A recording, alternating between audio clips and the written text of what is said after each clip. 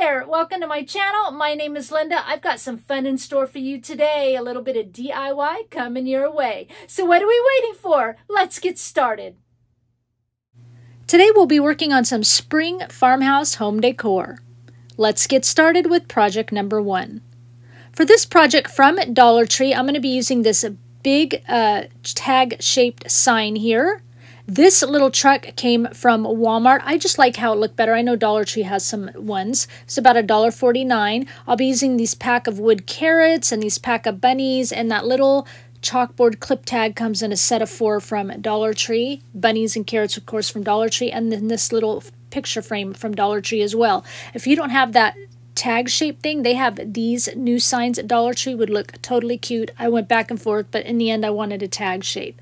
So I'm using my heat tool here and a Cricut tool as well to kind of pop off that chalkboard section and to remove the beads of glue underneath that held that little chalkboard sign on.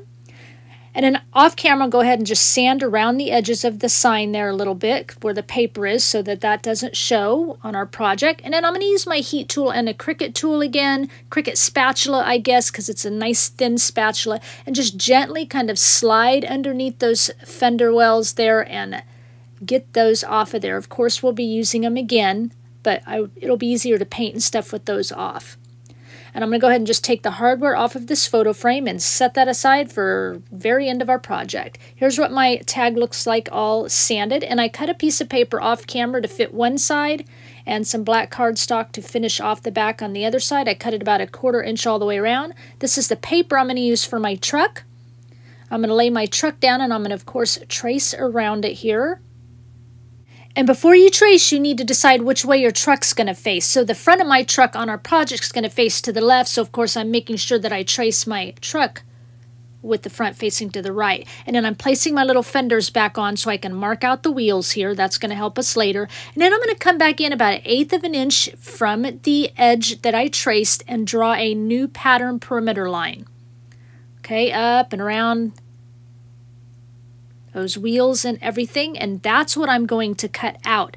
That way, when it's done,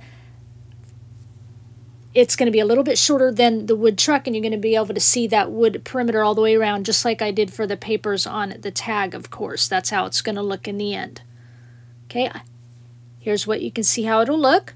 And I'm going to use Debbie's Design Diary DIY Little Black Dress, Dixie Belle Drop Cloth Paint, Mud Paint in Sage and Dixie Belle Terracotta paint for my project today, all chalk paints. I'm going to use the black and kind of uh, paint around my tag here. So yeah, if you use that one newer sign, you wouldn't have to paint any of it unless you wanted to stain like the framing around it would look really cute.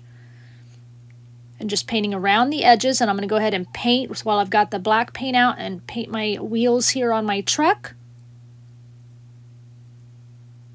I think this turned out really, really cute. I like how it uh, ended up, so you'll have to let me know if you guys like it too. And then I'm using that Dixie Belle drop cloth paint going around the perimeter because remember a little bit of the wood's going to show around the edges since we cut our paper short. And you don't have to cut the paper short, but I just like to do that. I just like that little bit of texture, being able to see a little bit of wood around it, around the paper. Okay, and then I'm going ahead and, of course, painting my little fenders here. Am I saying the right word? For some reason, fenders doesn't sound right. painting my little bunny, although later I end up painting it a pink color, but that's okay. And then before I move on, I'm going to go ahead and just do a little sandpaper here because it kind of gets real messy. And I'm going to sand and distress those wheels up a little bit. All that black around it will get covered up. And I'm coming in with like just some gray paint here and just painting the little center of my wheels. But that gray um, it just kind of looks like a silver a little bit, so it works perfectly. I don't remember which color I'm using, but I know it's Dixie Belle chalk paint. now I'm going to come in with that terracotta paint, and I'm going to paint up my carrots. You all know it. we've been painting carrots for how many videos now? Orange on the bottom, we'll paint a little green on the top. Just having fun with these carrots, I don't know. And yes, we're going to have a truck bed full of carrots, you know it. Here comes the greenery part. Perfect, looking really, really cute. And I'm going to use a stylus. Now, I start out here putting little uh, dots, white dots, or the drop cloth dots on my carrots. And then I decide later off camera, I don't like that. I just, you know, the last few videos I've been doing like a tone on tone, like a darker orange over the orange. And as I, you know, saw these, I'm like, I just don't like that. So I end up repainting off camera the backside, redoing the whole carrots and putting orange dots on it. You'll see that later, how it turned out. I didn't feel the need to show you me painting them again because we're already seeing that here. Added a little bit of shading on the green for the carrot top. And now we're kind of sanding around all our carrots to make them look all distressed. And then I'm coming in with my sewing machine and I'm sewing around all the edges of my paper. Those of you new to my channel, I love to do this. I just think it adds really cute texture to my projects. If you're not a sewer, no worries. You don't have to do this. It's just personal preference. If you are a sewer and you like this, I find anywhere from a size 9 or 10 or 11 needle, you'll have to play with it a little bit, works best.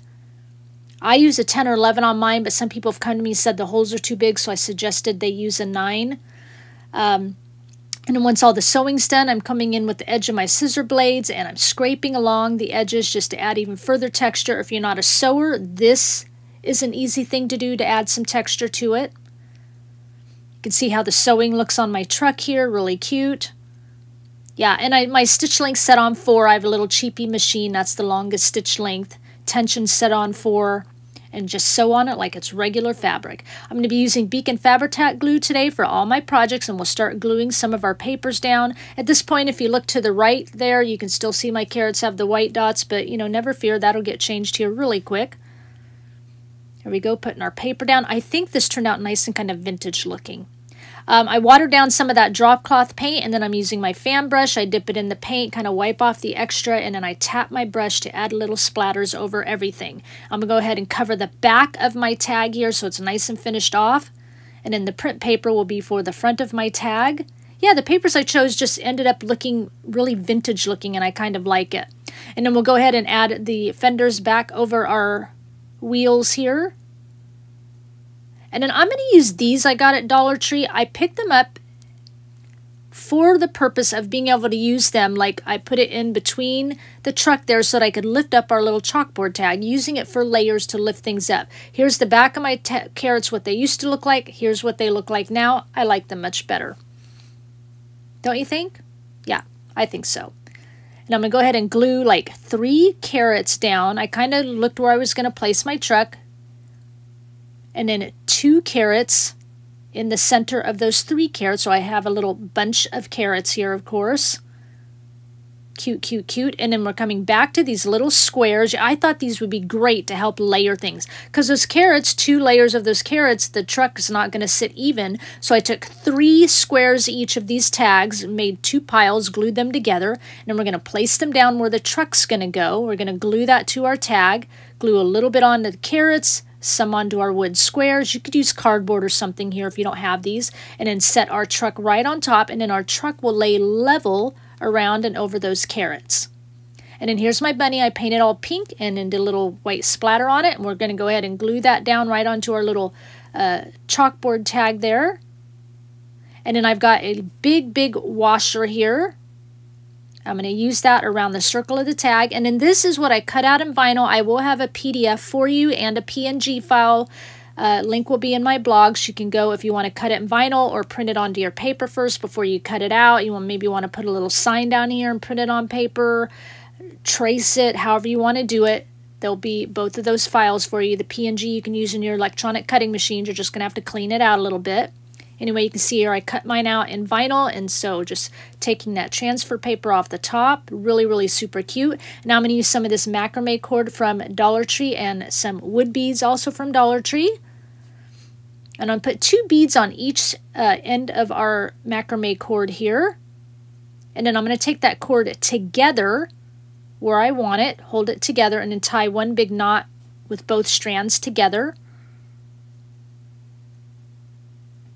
Looks really, really cute. I love how vintage it looks. And then I'm going to tie a knot at the end where I want my beads to rest so they don't fall off. And cut off the excess and then I'll kind of smush the little macrame cord at the bottom of that knot there. Give it a little something fun. And then bringing in some Gorilla Glue here and that frame. I bet you forgot about that frame, didn't we? We're using this because we're going to glue it on the back of our tag to help it stand up, and that makes this project complete.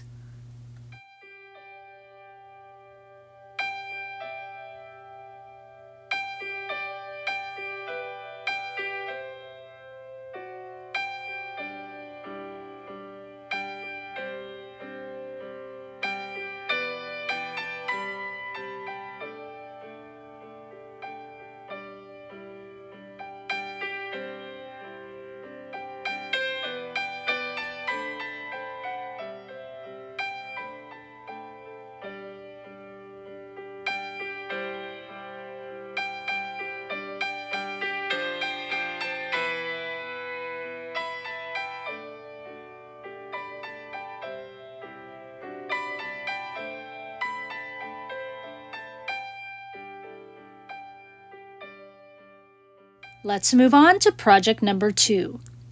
For this project, I will have a link down in the description box. This is another kit from craftingwithkimber.com. Um, I dreamed up that I wanted a chunky carrot that could stand on end like this. It's made out of half inch wood and my friend Kim made a little kit for us. So we got a 12 inch long carrot with a little extra piece for the greenery on top. This turns out so cute. I love it. Love it, love it, love it. And then with the kit comes a little tag You'll also get a chunky wood heart. Mine isn't chunky, but a chunky one that can sit on its end, and then a tiny little heart. You have lots of little pieces to play with, however you want to do it. This cute little flower.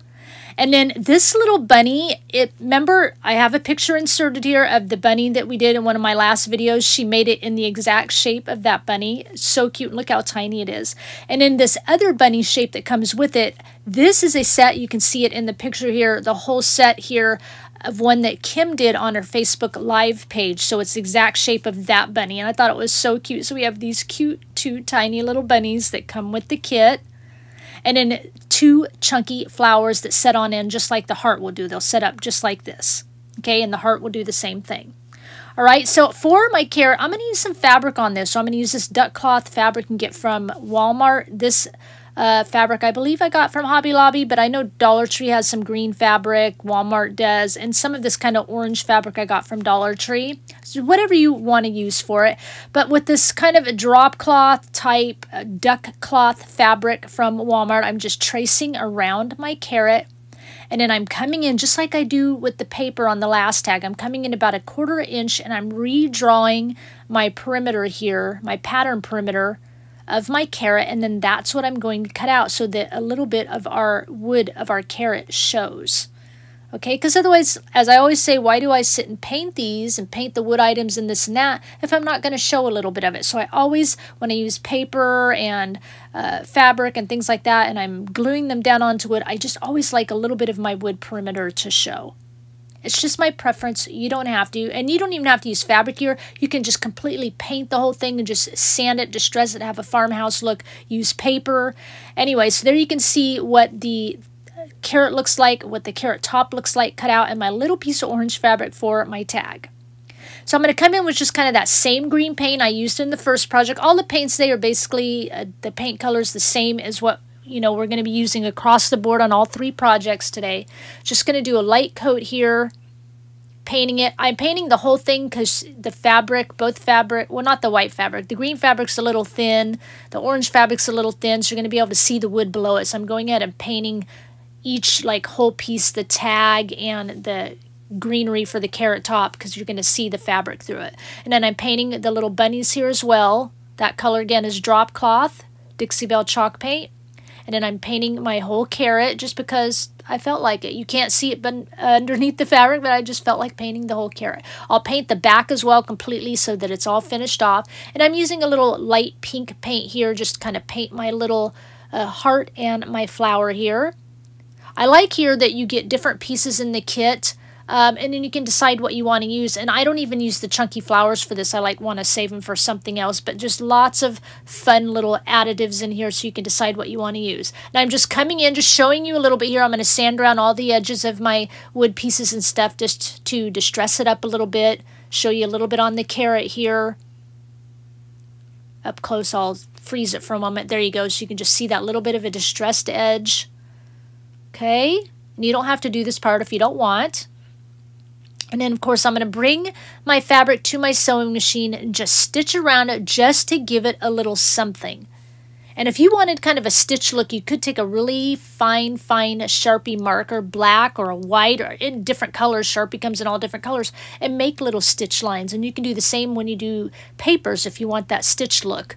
Here's what it looks like sewing all the way around. And it's already kind of fraying around the edges. I want to leave that there because I want it to have that rustic look right? So here's my greenery, what it looks like. Sewed on it, frayed around the edges, my little piece of fabric I sewed on. And I mix up some of that terracotta paint with water so it's a little bit runny and using my fan brush and tapping it and adding some splatters on my carrots. Mixed up a little bit of that pink with water so I can splatter my bunnies. And then to splatter my little heart and my flower. And then I'm going to go ahead and use my Beacon Fabri-Tac glue and glue down my pattern pieces or my fabric pieces. Now I'm only trying to glue around the edges because like this fabric is so thin and I don't want that Fabri-Tac to like leak through and be seen like a wet spot.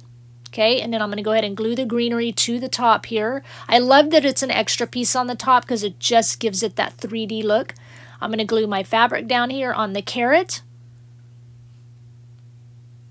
And then when I glue it down, I'm going to kind of just pick up the edges a little bit so that it just looks a little bit more frayed and worn around the greenery and on the carrot itself, just so it kind of sticks up a little bit. Just preference. Here's what that looks like. I think we're looking so rustic and farmhouse here. And then I add, I'm going to, I made a teeny tiny little iron-on out of vinyl. You could probably just write it on with a Sharpie marker. I didn't make a little printable for it because it's so tiny, you guys. It's like one inch by one inch but I'm not really great with my handwriting, so, you know, I used vinyl and ironed it on, and then I'm going to glue my little fabric piece onto the tag. And then I'm going to glue my one little tiny heart onto my little crooked ear bunny here. Super cute. And I'm going to use some twine here from Dollar Tree, just tie it into a little bow. And I'm going to kind of put that little bit I was going to have it straight under the greenery, but I decided a little cattywampus.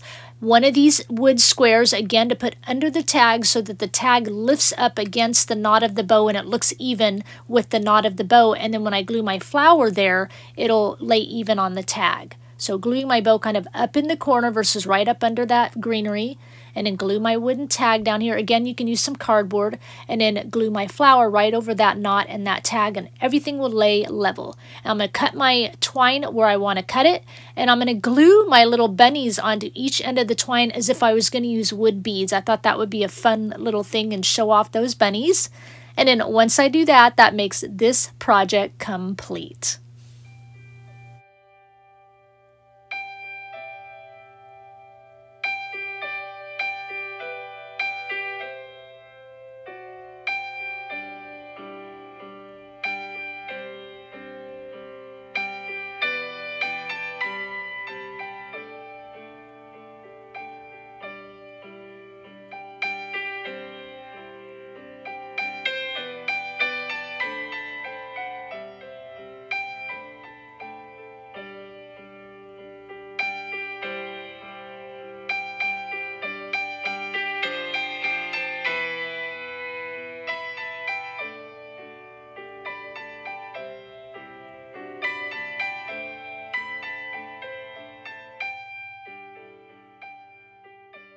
Let's move on to project number three. For this project, again, from Dollar Tree, I'm going to use these little bunny wreath things. I'm going to use three of them. Perfect size for what we need. And now I'm going to use two of these chunky slat boards from Dollar Tree. One is 10 inches, one is 12 inches long. You could use scrap wood if you want to. And then these, uh, it's a three-piece word set, also from Dollar Tree, the word bunny. And I'm going to just as you can see here, use some nice heavy duty scissors and just cut that little wreath portion off of all three of the bunnies. I'll save that wood because I might be able to use it to layer and stuff like I did the little wood squares. Might be able to use that for layering or something at some point later on. This is the scrapbook paper I'm going to use for my bunnies. And I'm going to show one here, but I'm just going to trace around all three bunnies. And of course, I'm going to come in and I'm going to redraw that perimeter again because we all know I like my wood to show a little bit around the edges. And then that's the pattern I'll cut out. And I'll do all that off camera. You've already seen me do it. There it is sitting up there at the top of my uh, paper cutter all ready to go. And I'm cutting some green cardstock to fit both of my signs here. Again, uh, allowing a little bit of wood to show around the perimeter. I think this turns out so super cute. The idea I had in my mind. I just love how it turned out. Again, the colors I chose adds a little bit of a vintage vibe to me, and that's okay. Bringing in that uh, Dixie Belle drop cloth and a little bit of kind of peach paint. I used this terracotta and some of that drop cloth to make it like a peach color, and I'm going to use this Waverly Antique Wax. Now, you don't have to do this part, but this wood is so light, and when I put that drop cloth paint on it and then try to sand off the edges, you don't really see the wood very well because it's light paint against light wood. So I thought I'll paint over the top with that Dixie Belle uh, drop cloth paint. Um, then sand around the edges here I am painting around over the top of that stain, then you're going to just see a little bit of that brown edge perimeter around the paint, and I think that just gives it a little something. But you don't have to do that, and especially if you don't want to sand the edges or anything like that. I just occasionally bring this out and do it this way just to give it a little something extra. I'll just show a little bit of the painting on the bunnies and a little bit of painting on my signs. You can see a carrot right up above the bunny on the left there. I was going to use a carrot in my project, and I decided not to. You'll see that laying there from time to time, even painted, but the carrot gets nixed. Paint my little heart here. And this heart, uh, I'll bring in two more hearts later. These hearts are from craftingwithkimber.com, and I'll have a link for those in the description box for you. And then I'm bringing in my little uh, homemade peachy paint here. Again, that terracotta with some drop cloth, making a little lighter, painting my bunny word, and then coming in with some pan, pan paper, sandpaper, and distress everything up. Just show a little distressing here. The rest I'll do off camera. Look, see, there's my carrot all painted. Just decided I didn't want the carrot. That's okay. You might want carrots. And here's my board all sanded and distressed. Can you see that little bit of brown around the edges there? And I'll show you here up on the other side. You can see it a little bit more better. I just think it just gives it a little vintage look. That's all. That's why I did that little bit of stain there with that uh, wax. And then I'm coming in just to show you I did it and, you know, go ahead and sewing all my papers again for this project. Around my strips for the sign and around uh, my bunnies. I like how these bunnies turned out really, really cute. Again, perfect side for our uh, little slat board signs here. I'll show you what this looks like. Here you go. Really cute. And then, of course, you all know it, open into my scissor blades, coming in to scrape along the edges. You could be really light-handed, really heavy-handed here, whatever you like. If you just, I think that sanding just allows that paper, and I say this a lot too, but, you know, that's what you get for being with me so long. for my new people, allows that paper to kind of just pop up off that wood a little bit. And then, of course, my watered down drop cloth paint I used earlier. I'm going to use it again here and add some splatters to my papers. Bunnies, I don't know, spring things just call for splatter. Mm -hmm. My bunny word here and my heart. You can see my carrot has even gotten further with the painting that I don't end up using. I did little pink splatters on the white hearts here. And here again is another printable for you. Now, I did this three different ways for you. So the Cottontail Farm I printed by itself if you just want the words Cottontail Farm and you want to put it on one sign. Okay? If you have the bunny words, I printed Cottontail and Farm separately so you could use it on two signs as I'm doing it. Okay? And if you don't have the bunny words, I printed this for, again, for two signs or one big sign all together so that you have that option as well, okay? I'm going to go ahead and glue my papers down here. I'm gluing front and back. I glued the papers onto the back side, okay, and then the papers on the front I haven't glued down yet. I forgot I cut papers for the back side of my signs too. So the back side of my signs are what's glued down. The front sides I'm waiting to glue those down. And as you can see here, I'm getting the papers on my bunnies glued down. And then here's where I come in, decide I don't want the carrot. I'm going to do two more hearts. Again, I'll have the link to these hearts in the description box for you. So if you go and order that cute carrot set, you might want to order some of these heart sets. And then I'm going to splatter it with our watered down peach paint here. And then, of course, sand around the edges in distress so it looks like that very first heart we painted. And then I'm going to come in and just add some glue to the bottom half of my word. Still, my paper's not glued down. I just need to get my bunny word in place. And I don't glue my paper down because if I glue my paper down and I don't wait long enough for the glue to dry and then I try to put my vinyl down, for some reason my vinyl will not stick underneath the onto the paper because the glue underneath is wet. So I have to get my vinyl down first and then glue. If I glue, then I got to wait 15, 20 minutes before I put my vinyl on. Weirdest thing. Anyway, then I'll go ahead and get that paper glued down. And then the cottontail here, I decided the words were too white. So I come in with that splatter and I'm going to just splatter right over the vinyl word and I do the other word off camera. But I'll show you what this looks like here in a minute. There we go. See, it just looks a little better with just a little bit of splatter on it. Even though it's kind of the same color, just gives it something. Go ahead and glue that paper down and put my signs together here so I can see where I want to put my hearts. I'll kind of let them hang off of that bottom sign a little bit. And where it's touching the top sign, but I don't glue it onto that top sign. And then now here, um, because I wasn't sure at that point whether I was going to glue the signs together, but then in the end I do glue them together. But anyway, um, I was just drew where the top bunny was going to lay on the bottom two bunnies so I would know where to put the glue. And I'm going to go ahead and glue that top bunny down. And then the top bunny, so there's space on the bunnies on the side, right? So I'm adding some uh, coffee stir sticks here. Two coffee stir sticks was too thick, so I add a coffee stir stick and cardboard on top so that I have the two bottom bunnies are level against that top bunny and it gives me gluing surface to glue to my sign. So I hope that's understandable. Okay, add some glue there and some more glue on my bunny. And now I'm going to glue that to the back of my top sign about oh, a half inch from the bottom. Let that set up for a bit. And here's what I decided. I'm going to go ahead and glue that top sign to the bottom sign right on top. So cute, cute, cute. And then I'm going to end with that last little heart as my bunny tail for that top bunny.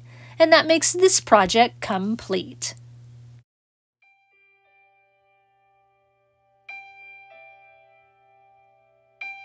So I really hope you like how these projects turned out today. I like how a couple of them turned out kind of vintage just with the paper colors I chose. And then the other one was like a, this rustic farmhouse. So, but you know, you of course make it any style you want. Please give this video a thumbs up. It really, really, really helps my channel to grow and you know the routine. Leave me a comment down below and let me know which project was your favorite. If you walked in here for the first time and you're just checking things out and you're digging what you saw, make sure before you click off you hit that red subscribe button and notification bell so you don't miss out on another video from me. Remember, I'll have the link down below to my blog for free printables to help you with your projects and I'll have the links to the uh, products and you know, cute carrot kit from craftingwithkimber.com down in my description box below as well if you'd like to go get those things for yourself. Before I go, I'm going to leave you with two things. Number one, I'm going to have a link to a Christian music video down below if you want to just, you know, take a little time, breathe in a little Jesus, and just focus on Him for a few minutes, find your peace. Click on that link and listen to it. I think you'll enjoy it. And two, I'm going to leave you with one final thought. It's important to understand that hearing God's voice answer your prayers takes a heart filled with love and humility. It takes ears that are willing to listen to what God is wanting to say to you. It takes a mind that is receptive toward His Spirit. And it takes eyes to look up and see that He is all powerful, all knowing, and can do anything you might ask of Him if it's in accordance with His will. But you must also have faith in God who gave you life. The situation that you are facing can only be won if your faith truly believes that God can bring you to the finish line. Will it happen quickly? I hope so. But if not, you must remain strong and stand firm on the solid rock when times are tough. You must not allow the enemy to destroy your hopes of healing. You must not allow him to plant a seed in your mind that God doesn't care, that God isn't listening, that you aren't good enough of a person, because that's a lie. God cares for you and God loves you. You are worth everything to Him. He died for you, and with His grace, your situation can be healed. So open your arms and receive all He has for you. Be ready to walk with Him and allow Him to guide you. Keep your faith and don't give up. Lift your head and breathe in His grace and healing. With your faith, you will hear God, and with His love, you will get through this. So take heart. With God, you will overcome and you will win your race. I thank you for sharing your time with me, and I'll talk with you again soon. Bye.